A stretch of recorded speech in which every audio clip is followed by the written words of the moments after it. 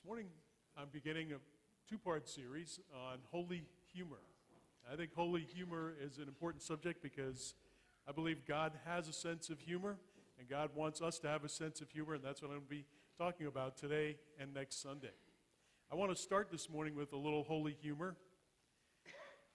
Adam was in the Garden of Eden, and he was out late, got in very late, and Eve was a little suspicious.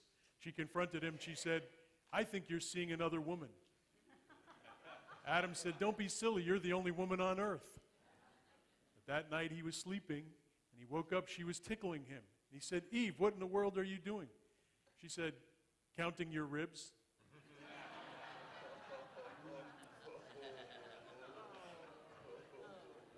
Let's begin with a little prayer. Lord God, may the words of my mouth and the meditations of all of our hearts be acceptable, for you are our Creator, our Redeemer, our Sustainer. Thank you, Lord. Amen. Danish theologian Kieran, uh, Soren Kierkegaard wrote Christianity is the most humorous point of view in the history of the world. The Apostle Paul said something like that in his first letter to the Corinthians. Talking about the crucifixion of Jesus, he wrote, It is foolishness to the Jews who ask for signs from heaven. It is foolishness to the Greeks who seek human wisdom. So when we preach Christ crucified, to the Jews it is a stumbling block, and to the Greeks it is foolishness.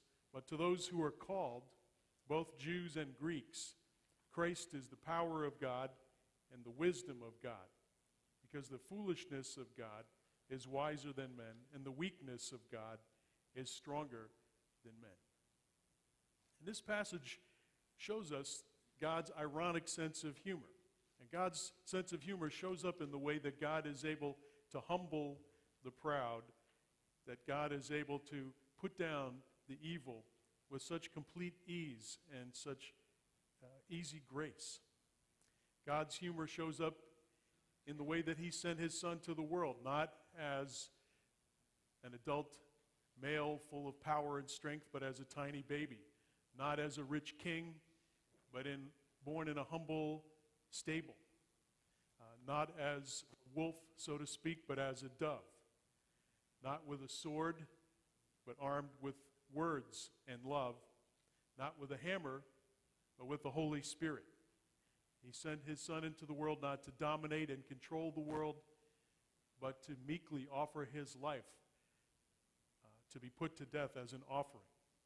So, no wonder Paul said the message of the cross is foolishness to those who are headed for destruction. We here are lucky and blessed because we get it. We understand the weakness of God is truly strength. Now, love and laughter and joy all can be felt in the same place inside us.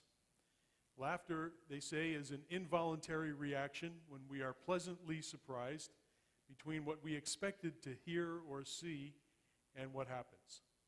For example, if a man speaks in the woods and there is no woman there to hear him, is he still wrong? Laughter isn't always under our control. And that out of control aspect of humor shows up in what's called a spit take. Now, you're all familiar, I'm sure, with the double take, and that is, you know, you glance at something and then you immediately glance back. Well, a spit take in humor is when humor strikes you and your mouth is full and you don't have a chance to swallow. And uh, what results is, you know, something comes out of your mouth or out of your nose, and uh, they call that a spit take. Well, my. Uh, my family experiences that quite a lot. When I've got all my four kids together, they seem to get each other going all the time. It's a, it's a great thing, a joyful thing. Now, the Bible knows about this kind of spontaneous, involuntary laughter. Uh, it's not a new phenomenon, it's something, it's part of the universal language of human experience.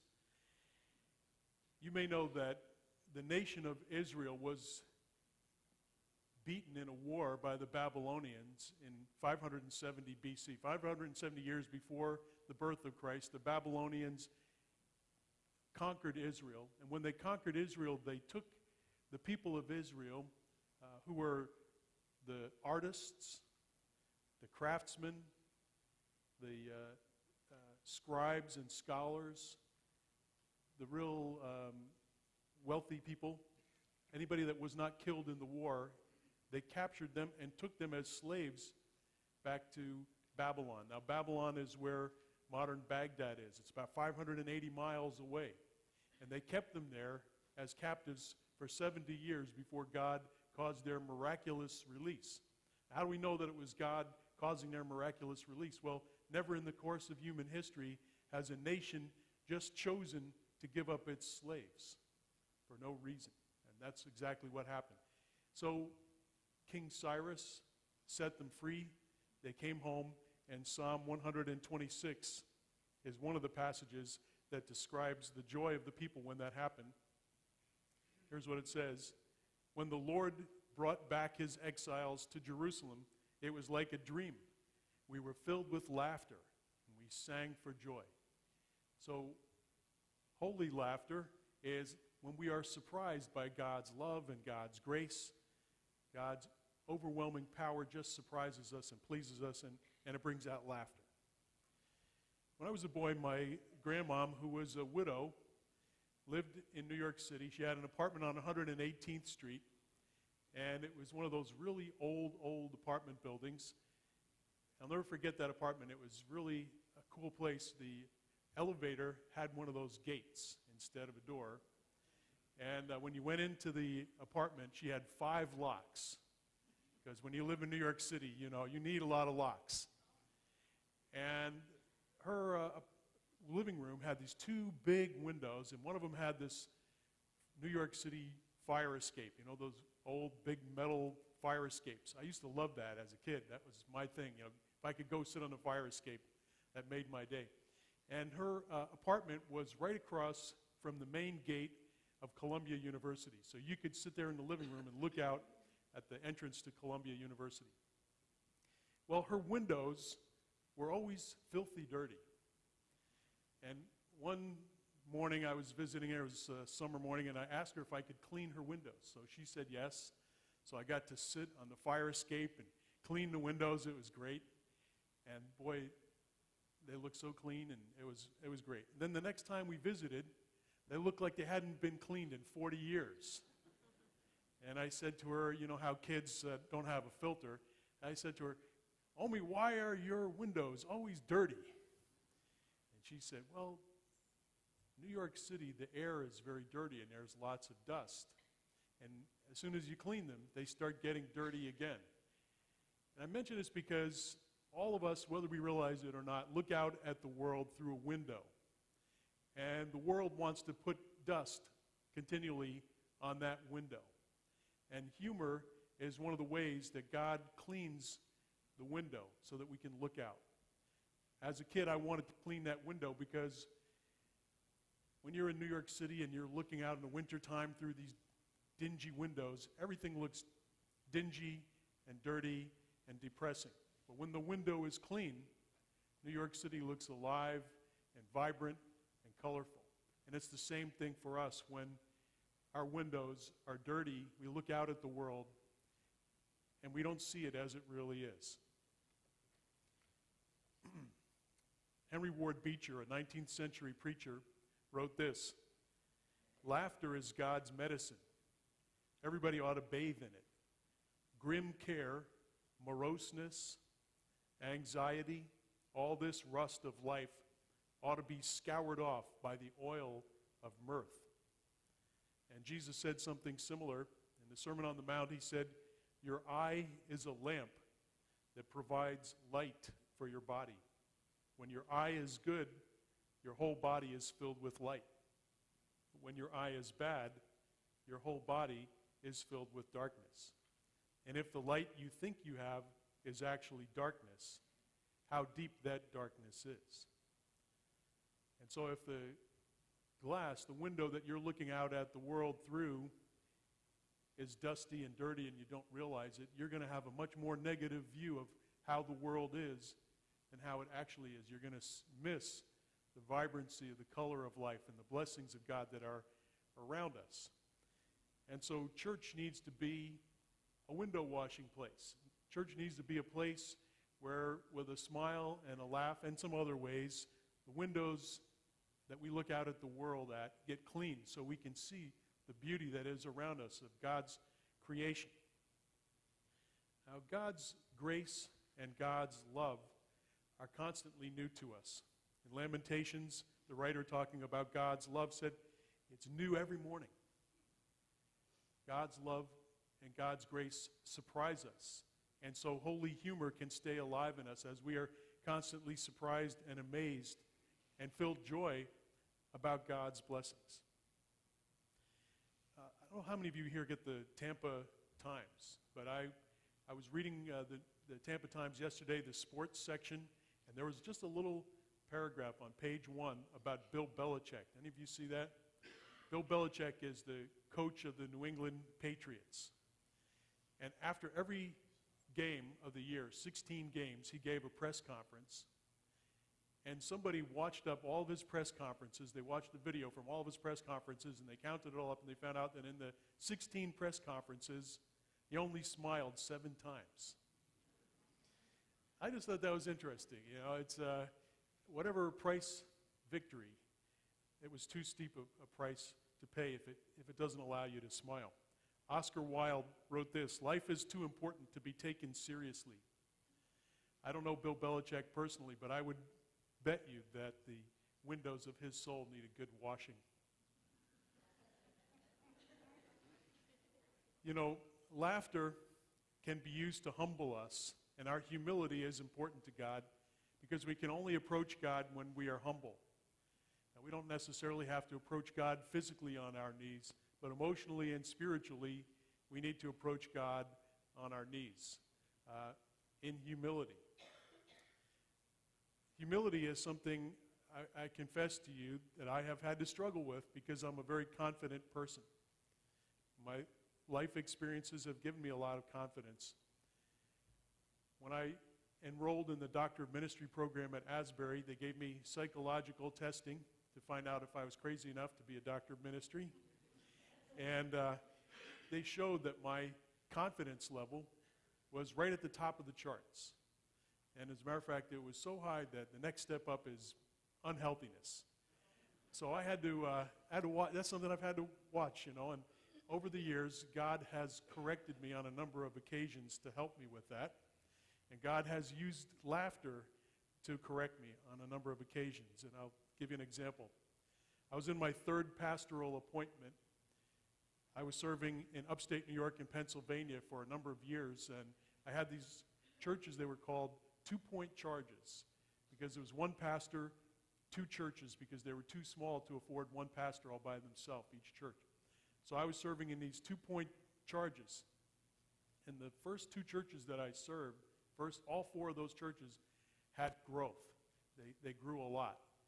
And I was feeling very confident about myself. And I was now in my third pastoral ministry, and that church, both of those churches were growing. And I was thinking, boy, I am just doing all the right things. I am just so smart, and I'm doing such a good job as a pastor, you know. And, uh, well,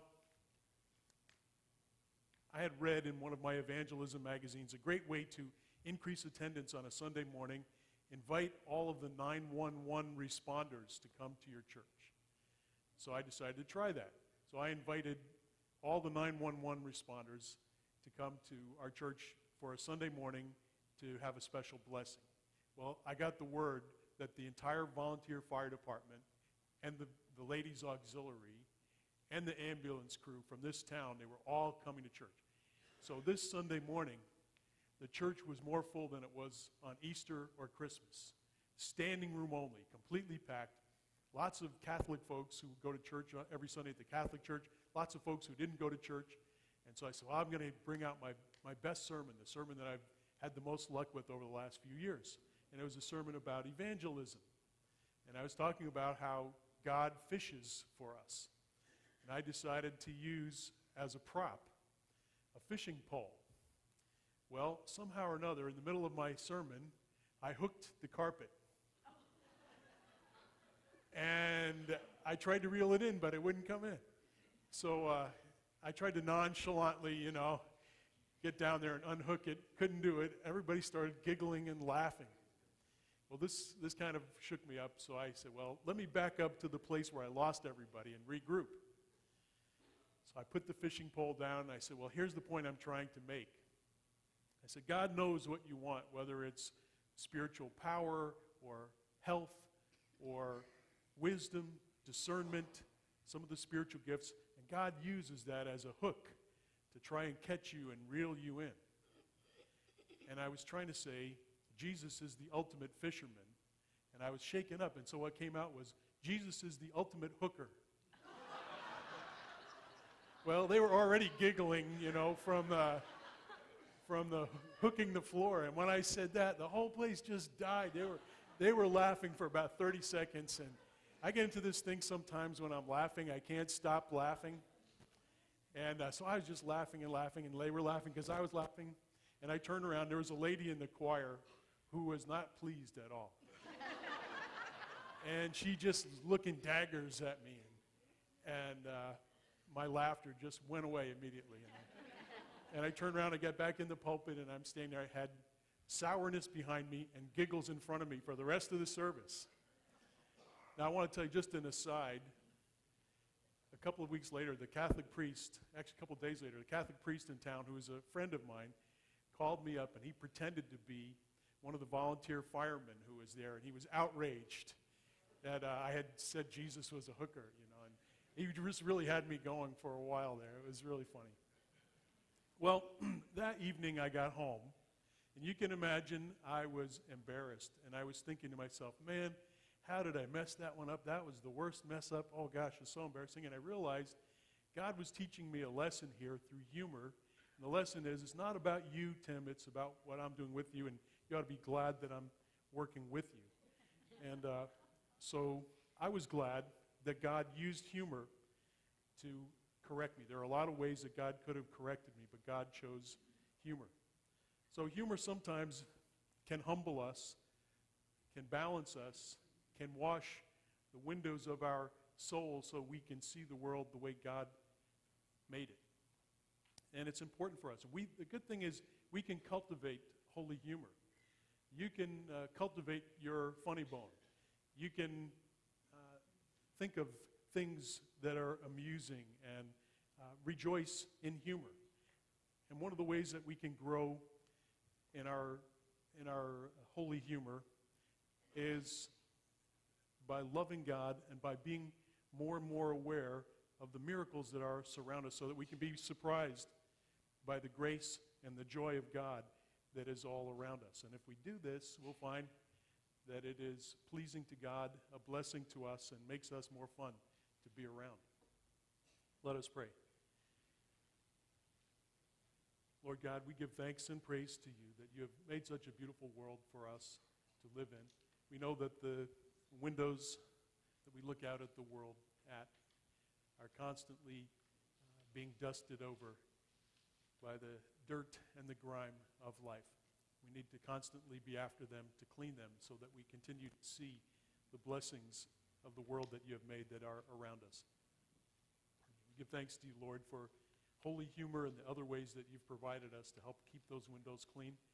We ask, Lord, that you guide us, that we seek to always keep those windows clean, that we may be continually pleased, surprised, and enjoy uh, your love and your grace that are around us. Thank you, Lord. In Jesus' name we pray.